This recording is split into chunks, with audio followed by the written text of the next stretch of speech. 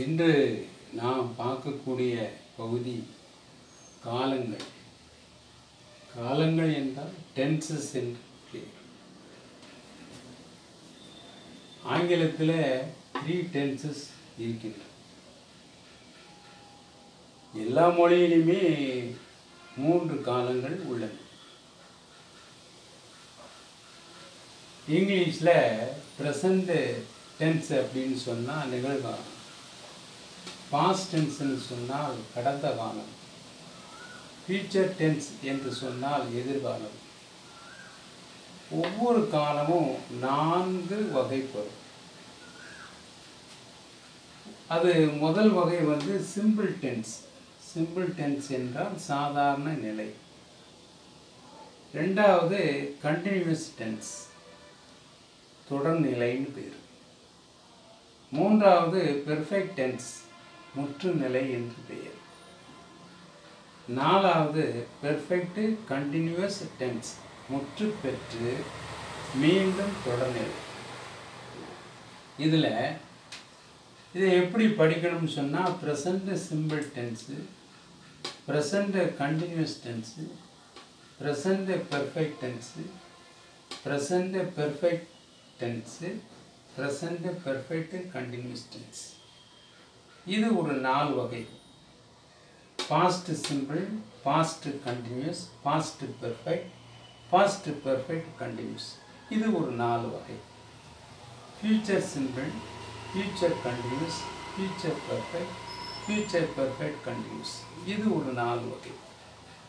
அப்போ மொத்தம் நமக்கு பனிரெண்டு காலங்கள் இருக்கு.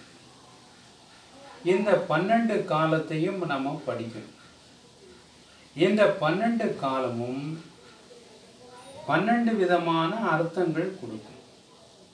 ப்ரெசண்ட் சிம்பிள் டென்ஸில் ஒரு அர்த்தம் கொடுக்கும். ப்ரெசண்ட் கண்டினியூஸில் ஒரு அர்த்தம் கொடுக்கும். ப்ரெசண்ட் பெர்ஃபெக்ட் டென்ஸில் இன்னொரு அர்த்தம் கொடுக்கும். பாஸ்ட்டு பெர்ஃபெக்ட் கண்டினியூஸ் டென்ஸில் இன்னொரு அர்த்தம் கொடுக்கும். இப்படி பன்னெண்டு விதமான காலங்கள் பன்னெண்டு விதமான அர்த்தங்களை கொடுக்கும். இதை டென்ஸை முழுமையாக நாம் படிக்க வேண்டும். முழுமையாக என்று சொன்னால் தமிழ் அர்த்தத்துடன் படிக்க வேண்டும். ப்ரெசண்ட் சிம்பிள் டென்ஸில் உள்ள அர்த்தம் என்ன? ப்ரெசண்ட் கண்டினியூஸ் டென்ஸில் உள்ள அர்த்தம் என்ன? ப்ரெசண்ட் பெர்ஃபெக்ட் டென்ஸில் உள்ள அர்த்தம் என்ன? ப்ரெசண்ட் பெர்ஃபெக்ட் கண்டினியூஸ் டென்ஸில் உள்ள அர்த்தம் என்ன? அப்படின்னு படிக்கணும். அப்படி பன்னெண்டு டென்ஸுக்கும் படிக்கணும். இந்த பன்னெண்டு டென்ஸையும் தெரிஞ்சால் தான் நம்ம இந்த மூணு டென்ஸையும் தெரிஞ்சிருக்கோம்னு அர்த்தம். Present tense past tense future tense இது இன்னும் ப்ரெசன்ட் டென்ஸுக்கு தனியாக பாஸ்ட் டென்ஸுக்கு தனியாக ஃபியூச்சர் டென்ஸுக்கு தனியாக இல்லை. ப்ரெசன்ட் டென்ஸே வந்து நம்ம நாலு பிரிவாக பிரிச்சிட்டோம். Simple continuous perfect perfect continuous அதே மாதிரி பாஸ்டன்ஸையும் பிரிச்சிட்டோம்.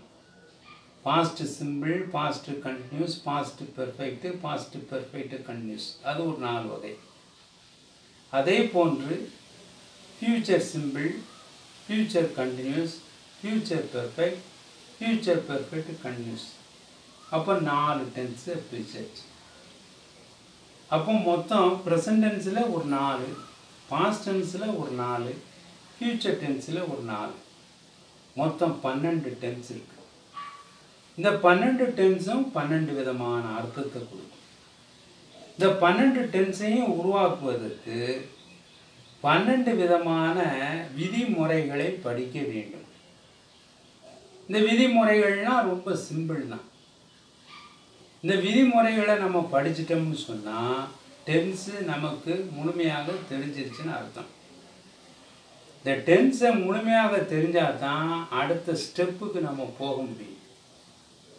இதுதான் பேஸ்மெண்ட்டுன்னு சொல்லக்கூடியது. இந்த பேஸ்மெண்ட்டை முதல்ல படிக்கணும். பன்னெண்டு டென்ஸுக்கு உள்ள ரூலையும் படிக்கணும் பன்னெண்டு டென்ஸினுடைய அர்த்தத்தையும் படிக்கணும். அதே போன்று வாக்கியங்கள் அமைக்கவும் நம்ம படிக்கணும். இந்த பன்னெண்டு டென்ஸும் எப்பப்போ எங்கே வரும் அப்படிங்கிறதையும் நம்ம படிக்கணும். அதுக்காக வந்து நம்ம பன்னெண்டு டென்ஸையும் எல்லா நிலையிலையும் பயன்படுத்த முடியும் அப்படின்னு நினைக்கக்கூடாது. பன்னெண்டு டென்ஸை இந்தந்த இடத்துல இந்தந்த சூழ்நிலையில் தான் நம்ம உபயோகிக்க வேண்டும். இதை பற்றி நம்ம படிக்க போகிறோம் இப்போ இது வந்து முதல்ல உங்களுக்கு ஒரு இன்ட்ரோடக்ஷன் தான் நான் கொடுத்துருக்கேன். இந்த இன்ட்ரோடக்ஷனை வந்து தெளிவாக நீங்கள் பயன்படுத்தி தெரிஞ்சு கொள்ளுங்க. இப்போ முதல்ல நம்ம படிக்க வேண்டிய டென்ஸ் எப்படி அப்படின்னு சொன்னால் ப்ரெசண்ட் சிம்பிள் டென்ஸை பற்றி நம்ம படிக்க போகிறோம் இப்போ அடுத்து ப்ரெசண்ட் சிம்பிள் டென்ஸை பற்றி நம்ம படிக்க போகிறோம் அதனுடைய ரூல் என்ன அப்படிங்கிறதையும் நம்ம தெரிஞ்சு கொள்ள போகிறோம் முதல்ல இப்போ ப்ரெசண்ட் சிம்பிள் டென்ஸை அடுத்த இதில் வந்து நம்ம பார்ப்போம். சரிதானா? Bye.